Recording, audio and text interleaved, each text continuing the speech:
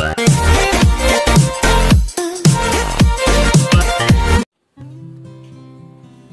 friends welcome back to my channel आज मैं आपको ग्लव्स बनाना बताऊँगी।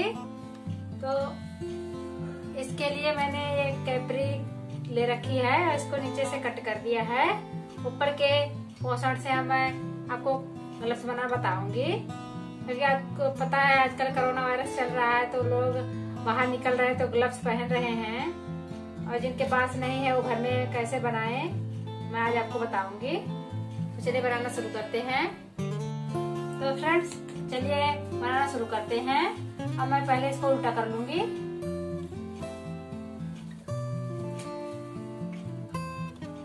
इस तरह से।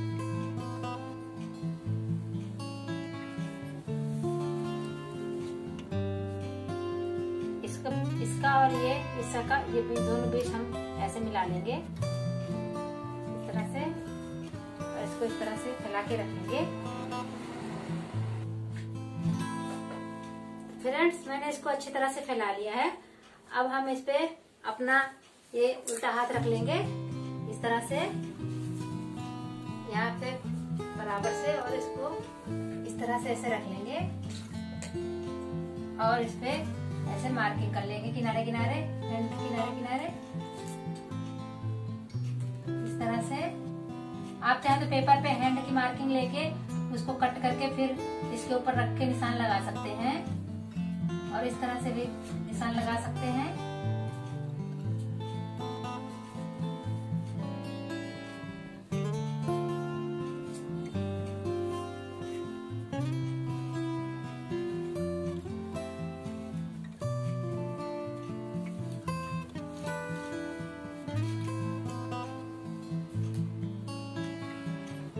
तो देखिए फ्रेंड्स मैंने इसे मार्किंग कर लिया है। अब मैं इसको इस तरह से ऐसे पकड़ के और इस पे ये यहाँ पे ऐसे रख के और इसको इस तरह से बराबर से मिला के इस तरह से और इस तरह से ऐसे ऐसे कर दूँगी। तो इसके नीचे वाले पोर्शन पे भी ये निशान आ गया। अब मैं इसको डार्क कर लूँगी। डार्क करके मैं आपको दिखाती हूँ। देखिए फ्रेंड्स मैंने इस वाले पे भी मार्क कर लिया है और इसका गाढ़ा भी कर दिया है इसका निशान। और हम आपको सिलाई करना बताते हैं कि हम इसको कैसे सिलेंगे। आप इसे मशीन से भी सिल सकते हैं, मशीन से थोड़ी मुश्किल होगी। आप पेपर रख के सिल सकते हैं। और मैं आपको इसे सुई धागे से सिलना बताऊँगी। चलिए फ्रेंड्स सिलना शुरू करते हैं। सिलने से पहले मैं यहाँ पे पिन लगा लूँगी इस पे ताकि ये कपड़ा इधर उधर हिले नहीं और अच्छे से सिलते बने।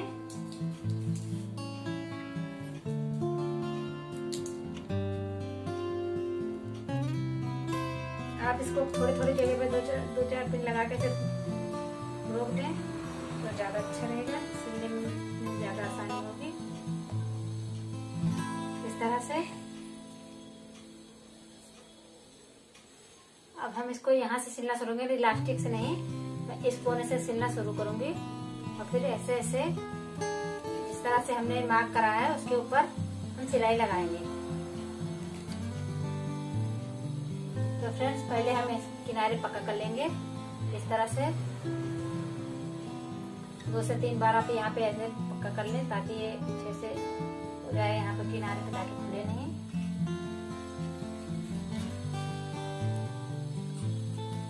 वैसे तो लोग मार्केट से भी ग्लव्स लेके आ रहे हैं, लेकिन उसको एक ही बार आप इस्तेमाल कर सकते हो।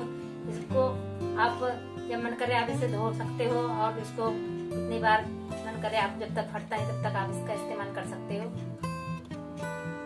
मैं आपको सिलाई के दो तरीके बताऊँगी कि आप किस किस तरह से सिल सकते हैं। आप इस तरह से ऐसे ऐसे करके भी सिल सकते हैं। और मैंने इस पे पिन लगा दिया है। तो आप इसको हाथ में उठाकर भी सिल सकते हैं। इस तरह से ऐसे करके इसको इस तरह से भी सिल सकते हैं। इस तरह से थोड़ा ज़्यादा आसानी होती सिलने में। और आप चाहे तो एक ये सिलने का एक और तरीका बताती हूँ आपको। आप इसको इस तरफ़ रखें, उसके बाद में इसको सुई को इस तरफ़ घुसा के इसको ऐसे निकालें। ये सिलाई ज़्यादा मज़बूत होती है, लेकिन इसमें थोड़ा टाइम लगता है सिलने में, इस तरीके से। ये आप इसको पीछे से लें और फिर यहाँ पे आगे इस तरह निकालें, इस तरीके से, और फिर इसको यहाँ से धागा निकला, इसके पीछे से लें, इस तरीके से। ये सिलाई कभी नहीं खुलती है, बस इसमें थोड़ा टाइम लगता है।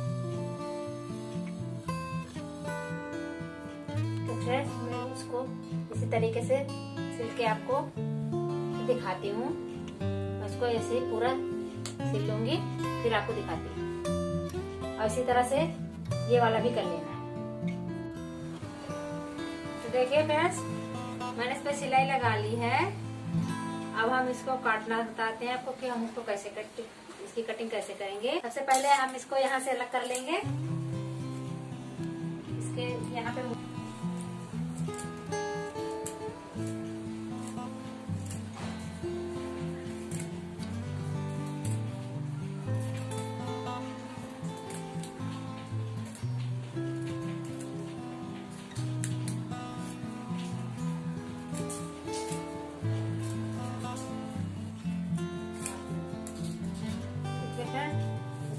तरह से कटिंग कर लेंगे।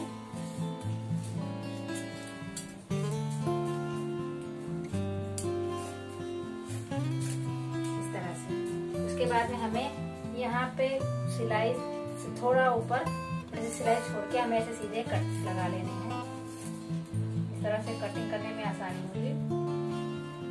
इस तरह से, सारी मुड़ियों पे इसी तरह से हम ऐसे कट लगा लेते सीधा फिर इसकी कटिंग कर देंगे। ऐसे थोड़ा सा एक पैर जितना देखिए फ्रेंड्स मैंने इसकी कटिंग कर लिया यहाँ पे निकालेंगे। और फिर इसकी कटिंग कर लेंगे। हमें ऐसे दोनों को कट कर लेना तो देखिए फ्रेंड्स मैंने इसकी कटिंग कर ली है। अब हम आपको इसको सीधा करके दिखाएँगे। इसको इस तरह से सीधा कर लेना है।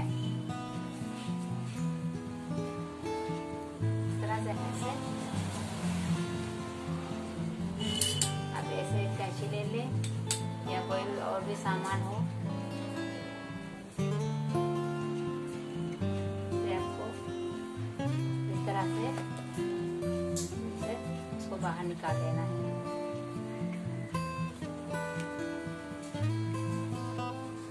तो देखिए फ्रेंड्स, मैंने इसको सीधा कर लिया है। और जैसे कि आप देख सकते हैं, मैंने इस साइड पे यहाँ जो सिलाई लगाई थी, इस तरह से आया है, बिल्कुल कंफर्टेबल देखिए और इधर इस तरह से सिलाई लगा दिया है। और मैं इसको आपको पहन के दिखाती हूँ।